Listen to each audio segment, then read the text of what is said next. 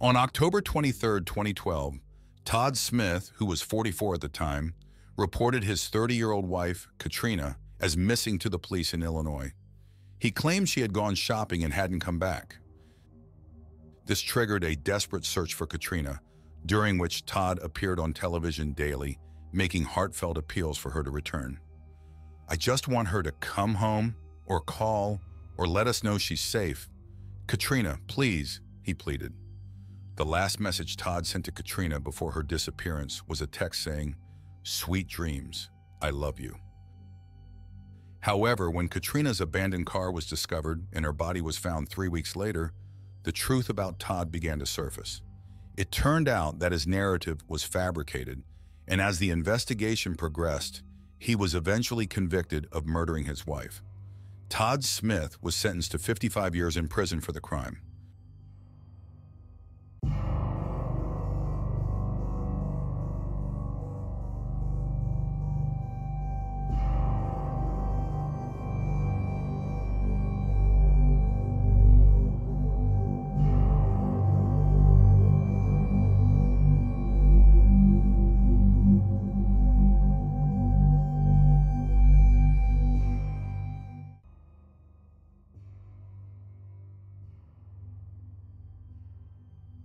Katrina Edlin was born on July 16, 1982. She was the youngest child of her mom, Vicky. Katrina had an older brother named Chad and a younger sister named Miranda. Miranda really looked up to Katrina when they were kids. She would often try on Katrina's clothes and use her makeup because she admired her so much and wanted to be just like her. As they grew up, Miranda and Katrina became very close, more like best friends than sisters. When Katrina was young, her parents split up and she stayed with her mom. She grew up in a small town in Illinois. People who knew Katrina thought of her as kind and fun-loving. She loved the holiday season a lot and enjoyed giving funny, playful gifts to her friends and family. Katrina was generally a very happy person and was deeply involved in her church. She always wanted to help others and was ready to spend time with anyone who needed it. Even though she was happy, Katrina was also looking for love. She thought she found it when she met Todd Smith at a bar when she was 20. Todd was a successful financial planner with his own business, and he worked from home. He also had three daughters. Katrina and Todd really clicked despite their differences, and his flexible job meant they could travel a lot together. Three years later, Todd proposed to Katrina, and she was thrilled. They planned a small wedding in a local park, and Katrina was excited about their future together. She loved Todd's daughters and looked forward to a bright future with him. Katrina's family, including her mom Vicky and her siblings Chad and Miranda, really liked Todd. They thought he was a great guy and trusted him with Katrina, believing they were a perfect match. On October 20th, 2012, Katrina, who was then 30 years old, called her mom Vicky to say she was house sitting for a friend. She told her mom during the call that she would come over for dinner on October 24th, and she had some news to share with her then. Vicky had a feeling that something was up, but she couldn't pinpoint what it might be. Before they ended their phone call, Vicky promised to make Katrina's favorite meal, chicken and dumplings, the next time they saw each other. Unfortunately, she would never get the chance to keep that promise. A few days after their conversation, Katrina went missing and Vicky never saw her daughter again. At 5 p.m. on October 23rd, Todd Smith, Katrina's husband, called 911 to report her missing.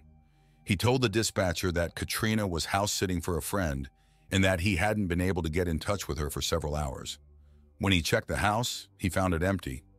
Katrina's disappearance worried her siblings too. Chad, her brother, was in Oklahoma training with the U.S. Army at the time. As soon as he heard what happened, he flew back to Illinois to help look for his sister. That same evening, a local resident noticed an abandoned vehicle near the Rock River. The car wasn't parked properly. It was off to the side as though someone had left it there in a rush. When the police investigated the car, they discovered it was registered to Katrina. However, there was no sign of any struggle or of Katrina herself inside the vehicle. When Vicky learned that her daughter's car had been found abandoned in a ditch on the side of a road in an area unfamiliar to Katrina, her heart sank. She was convinced something terrible had happened. The only explanation that made sense to her was that someone had taken Katrina and left her car there. After finding the car, the authorities officially classified Katrina as a missing person and intensified the search for her. At 11 p.m. on October 12th, police brought Todd Smith for questioning. Todd told the detective that he last saw Katrina on October 22nd when she briefly came home to do laundry in preparation for a big job interview the next day. While the laundry was running, Todd said, Katrina went out to the mall to buy something and returned home around 8.30 p.m. But soon after, she left the house again, and that was the last time Todd saw her. Todd mentioned that Katrina had one last errand to run before she would return home. She was currently house-sitting for a friend. The day after she was officially listed as missing, Todd Smith went to the media to make a heartfelt plea for his wife's safe return. During this emotional moment, Todd couldn't hold back his tears as he expressed his desperate hope to find Katrina. He urged anyone with any information about her whereabouts to come forward and help. I just wanted to come home or call her, let us know that she's safe. As time went on, the search efforts for Katrina grew more intense. Search teams made up of police officers and volunteers worked tirelessly. They focused their search on a park close to where Katrina's car had been found abandoned hoping to find any clues or evidence that might explain her disappearance. When Chad, Katrina's brother, arrived in Illinois from his Army training in Oklahoma, he met up with the search teams at the park. Using his military skills, Chad organized the search effort effectively. He mapped out the search areas and divided the volunteers into teams, ensuring a thorough search was conducted. The search teams, alongside search dogs, aligned themselves in a straight line to comb through the park methodically. This technique helped them cover more ground and made sure no potential evidence was overlooked. Meanwhile, Katrina's mother, Vicky, was also doing her part by spreading awareness about her daughter's disappearance. She hung up missing person flyers all around the town, at gas stations, convenience stores, and on lampposts. Her main goal was to make as many people as possible aware of Katrina's situation. However, the overwhelming grief and the fear of possibly finding her daughter's body prevented Vicky from joining the physical search. During this tough time, Todd remained visibly distressed. Chad supported him, urging him to keep his strength as they needed to stay focused on finding Katrina. Chad was a constant source of support for his brother-in-law, empathizing deeply with his pain. The search led to a small breakthrough when an officer found Katrina's purse near where her car was abandoned. Continuing the search further down the road from the car, the officer found additional personal items that belonged to Katrina, adding more pieces to the puzzle of her mysterious disappearance. Among the items found were Katrina's cell phone and towels that seemed to have been used to clean up blood. This indicated that someone had been discarding Katrina's belongings as they moved away from where her car was abandoned. At this point, the police didn't have any leads on Katrina's whereabouts, but they suspected that something terrible had happened to her. The items discovered on the side of the road were sent to a crime lab for analysis, and the police were anxiously waiting for the results to help them in their investigation. Meanwhile, they started to look into Katrina's personal life for any clues that might explain her sudden disappearance. The investigation aimed to cover all aspects of her life, including checking if she had any relationships outside her marriage, any involvement in gambling or drugs, and understanding her daily routines. They interviewed Katrina's friends and family extensively, all of whom consistently described her as a kind-hearted and responsible person who always took her responsibilities seriously and steered clear of any questionable activities. They emphasized her dedication to her work and her strong work ethic, stating that she showed no signs of addictive behaviors or irresponsibility. During the ongoing search for Katrina, a potentially significant tip came in from a woman. She reported seeing a blue vehicle, similar to Katrina's, stopped on a bridge over the Rock River on the night Katrina disappeared. The car's trunk was open, and she saw someone kneeling behind it. However, she couldn't provide specific details about the person she saw. This tip led the police to consider the possibility that Katrina might have been thrown into the river, but they still lacked solid evidence to confirm any foul play. As the investigation deepened, the police also had to consider everyone close to Katrina, including her husband Todd, despite reports of a happy marriage. The possibility of undisclosed conflicts or secrets within the marriage made Todd a person of interest. The ongoing investigation was challenging, but the police were committed to uncovering the truth. They eventually gathered information that led them to a suspect, which marked a crucial turn in the case. The police found out about a local teenager who seemed to have an unhealthy fixation with Katrina. Earlier in the year, Katrina had told her friends about a teenage boy from her church who had been watching her through her bedroom window, which made her very uneasy. The boy's unsettling behavior eventually stopped when he went away to college, but the police suspected that he might have come back and started following Katrina again. They decided to put a lot of effort into tracking him down. Three days into their search, Katrina's cell phone, which had been sent to the crime lab, turned out to be a key source of information. The phone held a lot of details like her texts, call logs, photos, videos, and even GPS data. This data helped the police get a better idea of what Katrina had been doing recently.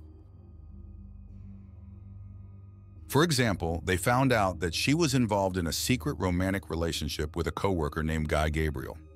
Katrina and Guy had started off as casual acquaintances after meeting one night after work but their relationship grew into something more.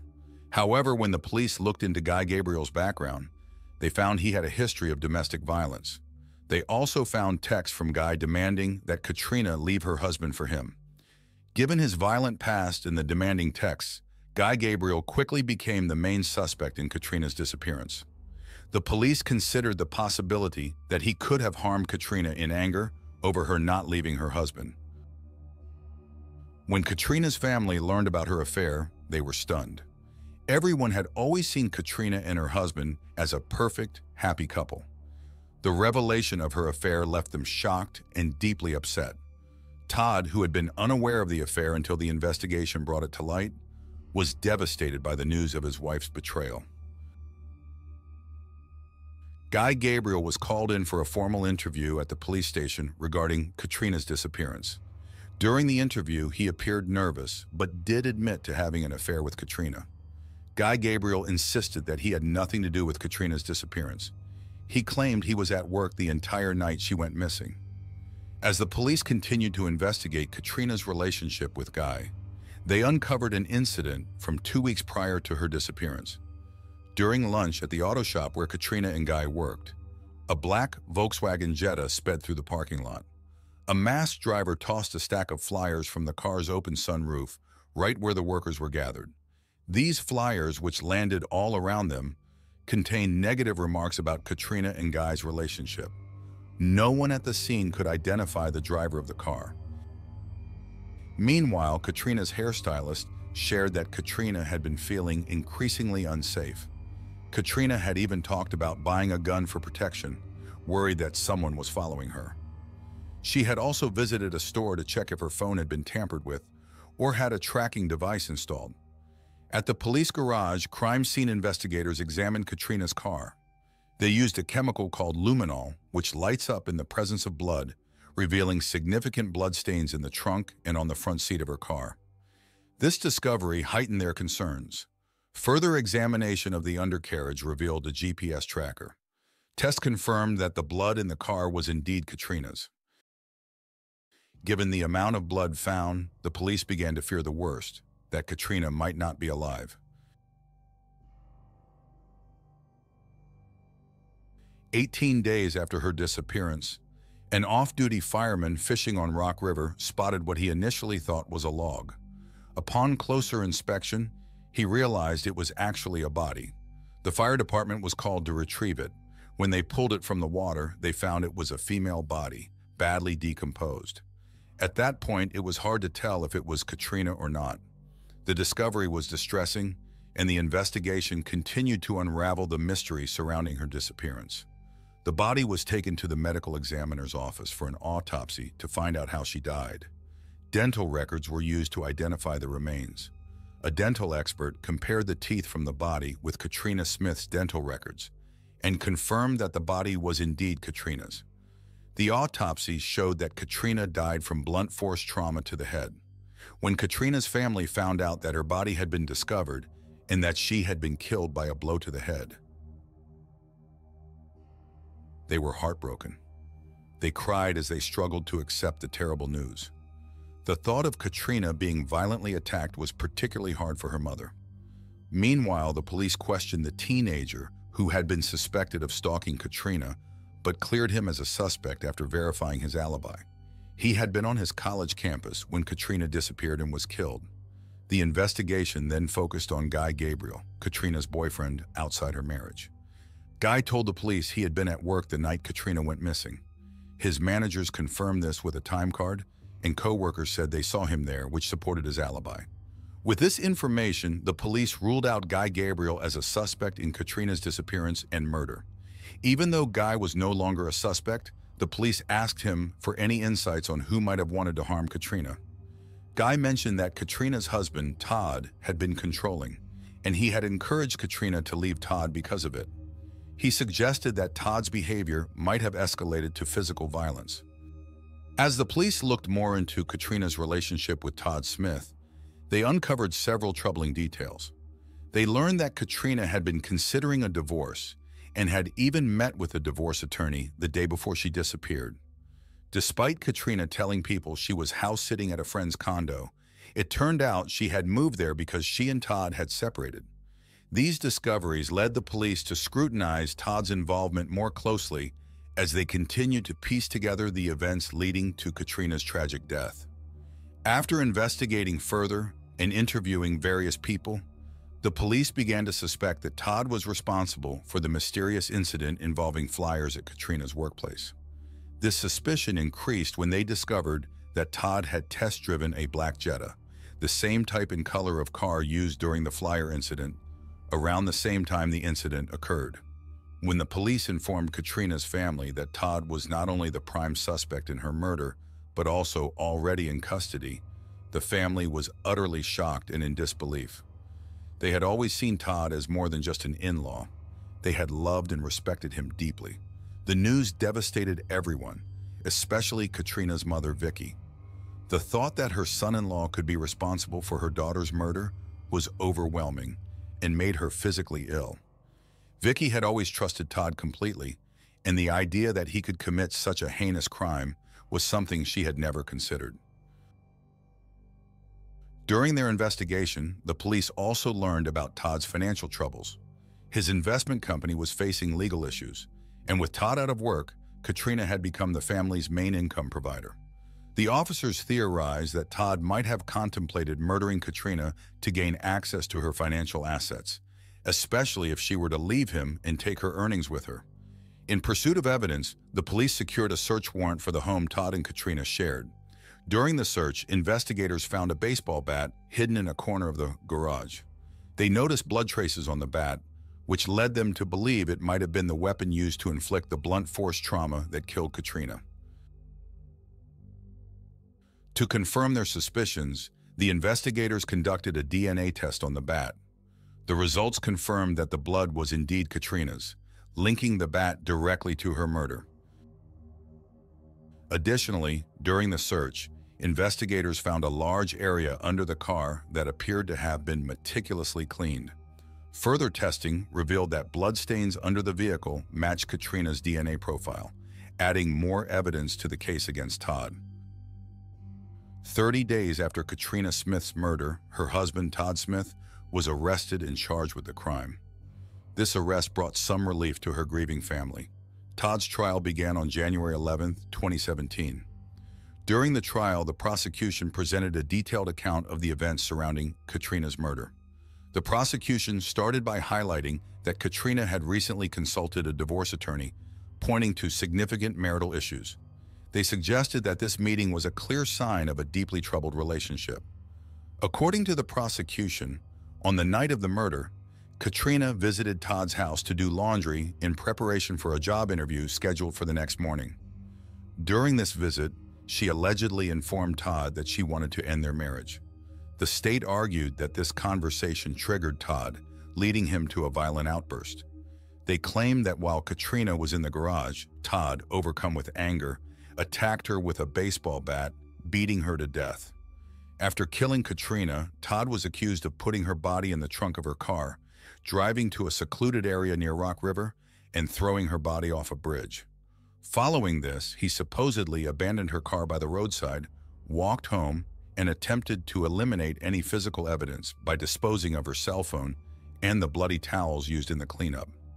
The jury, convinced by the evidence presented, found Todd guilty of murdering Katrina. He was subsequently sentenced to 55 years in prison. He still maintains his innocence. Katrina's mom said in court, all you had to do was walk away and let Katrina live the life she deserved, but out of greed and jealousy and rage, you chose to take her precious life.